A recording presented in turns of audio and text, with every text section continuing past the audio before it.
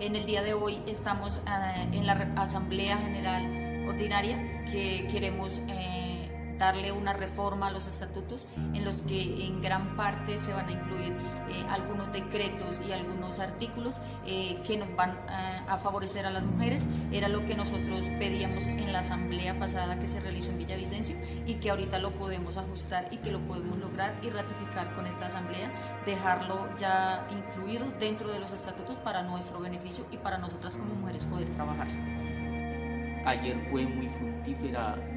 la,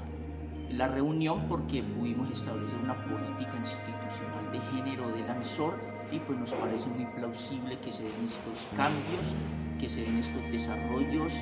que podamos, digamos, con nuestras compañeras eh, llegar a esos acuerdos tan importantes de jalonar juntos con ellas y nosotros una propuesta eh, que dignifique y que dé una verdadera valoración a nuestras comunidades campesinas. Entonces aquí nos encontramos desde el día de ayer, eh, 23 de marzo, y 24 de marzo, esperamos salir pues todos a nuestras organizaciones de base a dar a conocer las conclusiones y verdaderamente pues a conformar un plan de trabajo para desarrollar todo este tema de zona de reserva campesina y del impulso que debemos de dar a esta figura tan importante, la ley 160. Eh, para mí es muy importante estar en esta asamblea ordinaria porque justamente se está aprobando la política institucional del género del ANSOR, trabajo que hemos venido desarrollando las mujeres de la Coordinadora Nacional y que esperamos pues que sea implementada en todas las organizaciones que hacen parte no solamente de la plataforma de ANSOR, sino las organizaciones que hacen parte de, las, de los polígonos de zonas de reserva campesina en todo el país. Es un espacio muy importante y muy interesante para nosotros los campesinos, en donde de alguna manera buscamos en primer lugar eh, que el gobierno nos dé reconocimiento por medio de las propuestas que aquí se hacen y también para eh, enviar un mensaje a las demás organizaciones que es unidos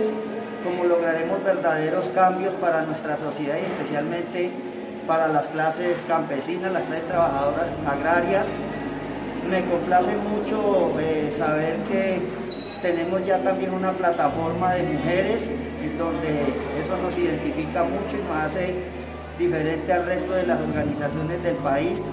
porque definitivamente como lo reza en su, eh, en, su premisa de lucha, eh, las zonas de reserva campesina sin las mujeres no cuentan. Entonces, una bienvenida a esta plataforma, esta política que se ha creado en Lanzor, unidad de lucha entre hombres y mujeres, y ojalá hayan otras organizaciones también campesinas que se quieran unir a Lanzor para así lograr el reconocimiento que durante tantos años el gobierno nos ha negado, pero que nosotros venimos reclamando eh, justamente.